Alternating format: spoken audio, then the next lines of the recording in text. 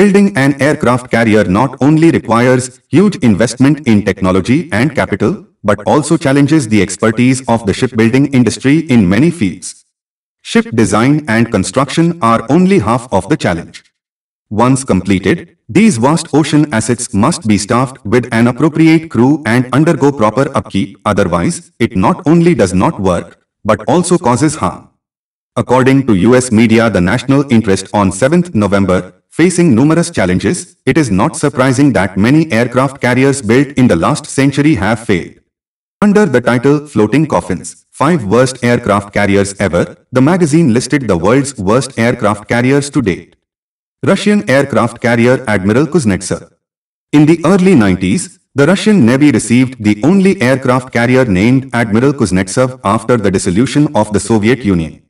Not only is it the worst carrier in service, but it's also the worst in recent decades, having suffered a series of incidents while operating at sea. When it arrived in Syria on a mission in 2016, it crashed several warplanes. In 2017, the floating dock she was carrying during repairs sunk and a crane crashed through the hull and she was forced to suspend service. At the end of 2019, due to errors in normal welding operations when repairing, a fire broke out and burned it, causing about $1 billion in damage, two people died and more than a dozen people were injured.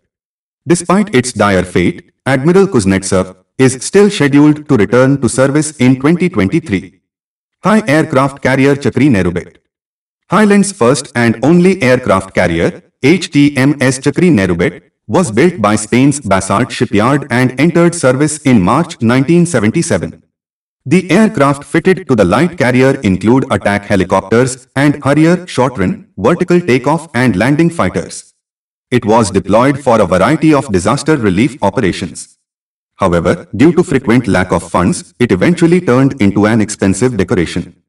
Recent information shows that HTMS Chakri Naruebet is allowed to run at most once a month for periodic training. U.S. aircraft carrier USS Ranger.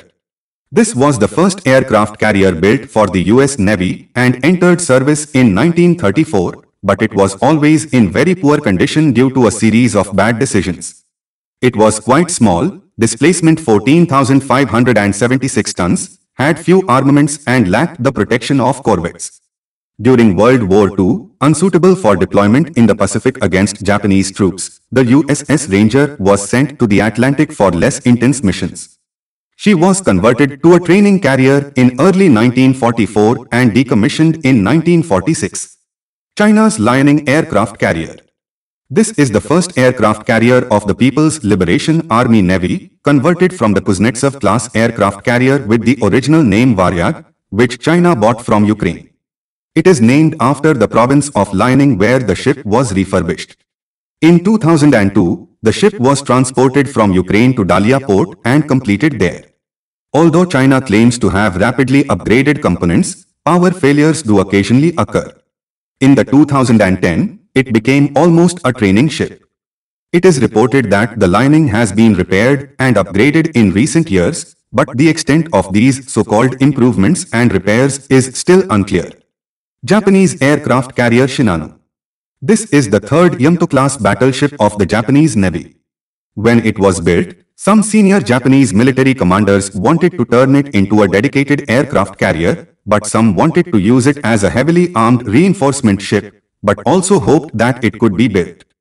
Can carry a large number of fighter aircraft. Because the Japanese army urgently needed it to serve in World War II, it rushed to put the Shinano into service in November 1944 without being completed in time. However, it had only just been transferred from the Yokosuka Naval Shipyard to Kure Naval Base to complete its refit when it was sunk by the American submarine USS Archerfish, killing 791 people. Therefore, Shinano has become the aircraft carrier with the shortest service life to date. Thank you everyone for watching this video.